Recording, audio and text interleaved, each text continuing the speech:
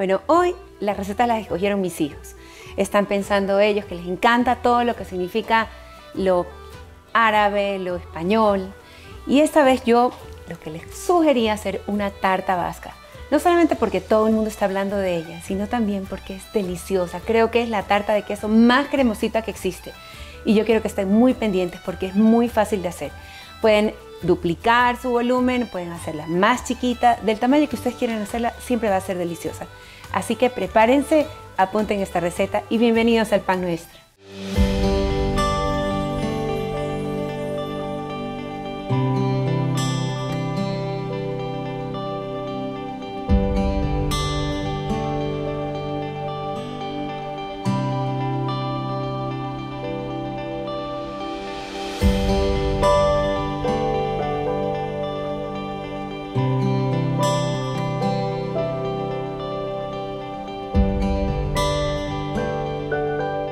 La tarta vasca va a tener siempre los mismos ingredientes. Ustedes pueden hacerlo en mayor o menor volumen, pero siempre va a ser el queso. Siempre vamos a utilizar un queso cremoso. Tenemos aquí azúcar, huevos y para hacerla más ligerita y cremosita, crema. Lo que sostiene esta tarta es un poco de harina. Hay personas que la usan, otras que no. Yo se las recomiendo porque así les va a salir la receta perfecta. Vamos a empezar siempre cremando el queso con el azúcar. Aquí tengo yo un kilo de queso. Voy a hacer una tarta grande. Pero ustedes pueden hacer exactamente la mitad de todos los ingredientes y le va a salir perfecta. Cuando vayan a escoger su queso crema, escojan siempre el que tenga menos sensación de salado, o sea, que sea neutro, porque eso es lo que cambia a veces la receta. Este aquí prácticamente sabe a crema purita. Muy rica. Vamos a ponerle el queso y el azúcar, 400 gramos. Si estuviéramos haciendo la mitad, 200 gramos, 400 gramos de azúcar y vamos a batir.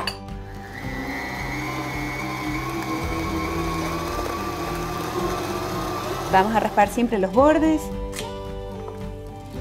y vamos a necesitar aproximadamente unos 3 minutos hasta que todo esté bien integrado.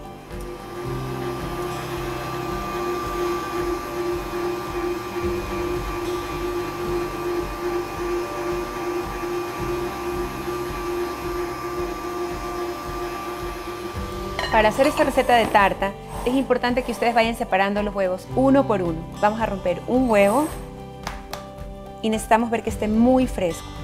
Esto identificamos cuando vemos que la yema está entera y se lo vamos a poner. Y vamos a hacerlo así con 8 huevos.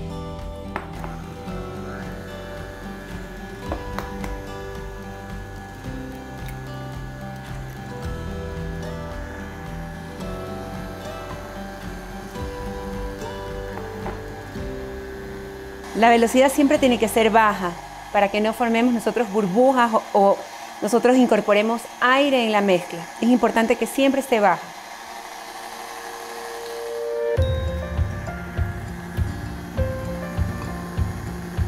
Miren cómo está esta mezcla cremosita, lisa. Vamos a ir al fondo, asegurarnos que esté todo bien mezclado y sacar todo el queso que aún no se mezcla para que logremos una textura uniforme. Toda la mezcla tiene que estar exactamente igual. Veamos que no tengamos grumos. Aquí voy a aprovechar para poner yo un poquito de vainilla y damos una vuelta más. Ahora sí, está toda sedosita, está deliciosa. Tarta vasca o llamada también tarta la viña, originaria de una ciudad hermosa, de una gran gastronomía como es San Sebastián. Yo creo que una de las ciudades más bellas que hay. Vean ustedes. Tiene que quedar así de sedosa la mezcla. Y aún no está lista porque todavía la ven bastante espesa, ¿verdad? Ahora tenemos que hacer algo con mucho cariño y es poner la crema. Vamos a prenderla así también bajito y vamos a ir poniendo como un chorrito finito crema de leche. Y la proporción es 500 gramos de crema de leche para esta cantidad.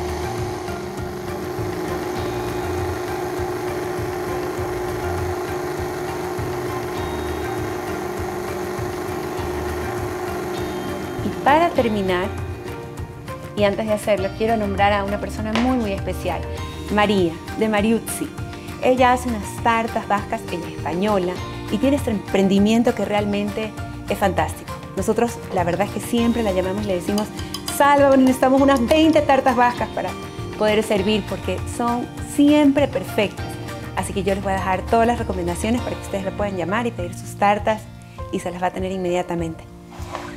Ahora, el paso final es coger harina. La harina tenemos que ponerla cernida. La vamos a poner lentamente.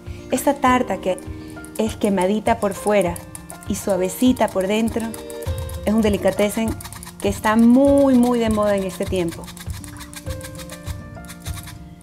Vean, muy importante que pongamos muy cernida para que continúe siendo una torta cremosita. Damos una vuelta solamente hasta que se incorpore.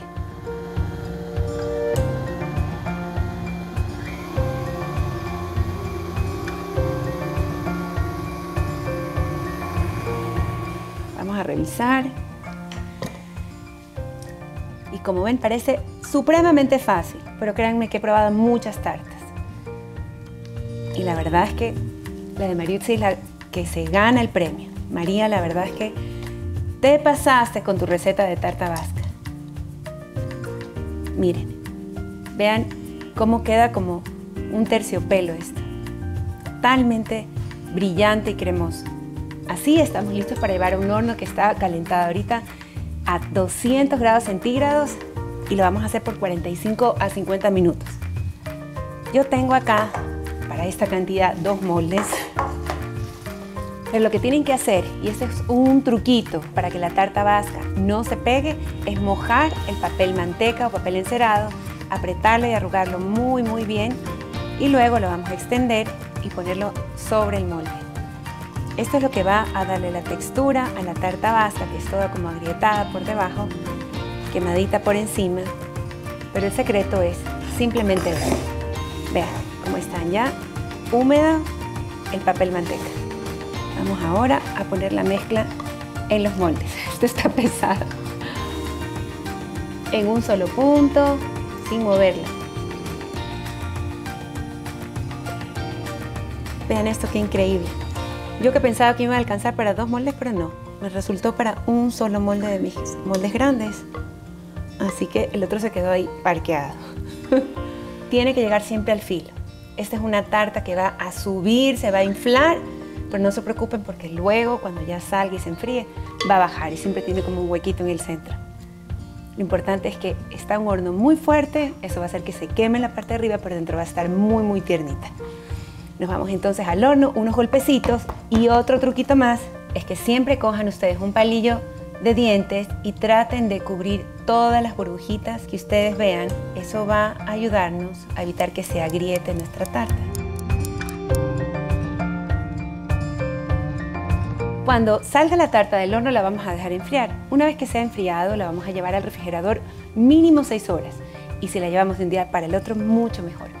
La tarta les va a durar aproximadamente unos 5 días perfectamente bien. Yo no creo que dure tanto porque es una delicia.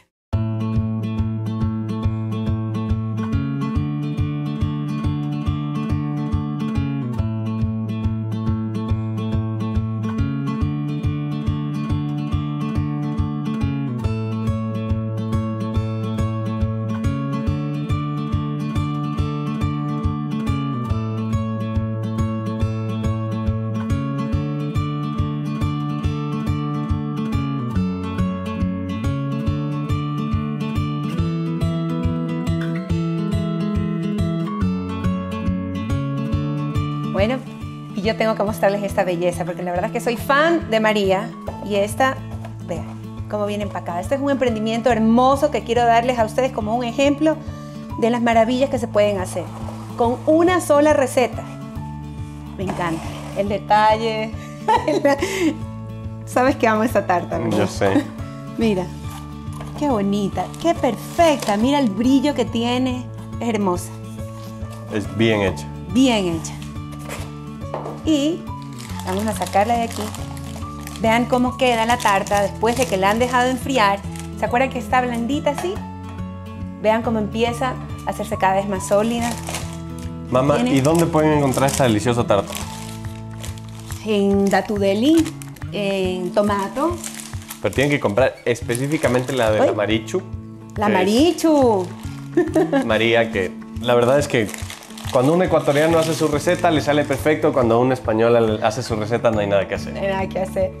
La verdad es que es una española ecuatorianizada. ya, Sí, María. sí, ya, yo creo que ella es más ecuatoriana, ahí nos sabrá decir ella. Pero bueno, agradecerle porque ella sabe que quien se come es este que está tan cremosita, vean.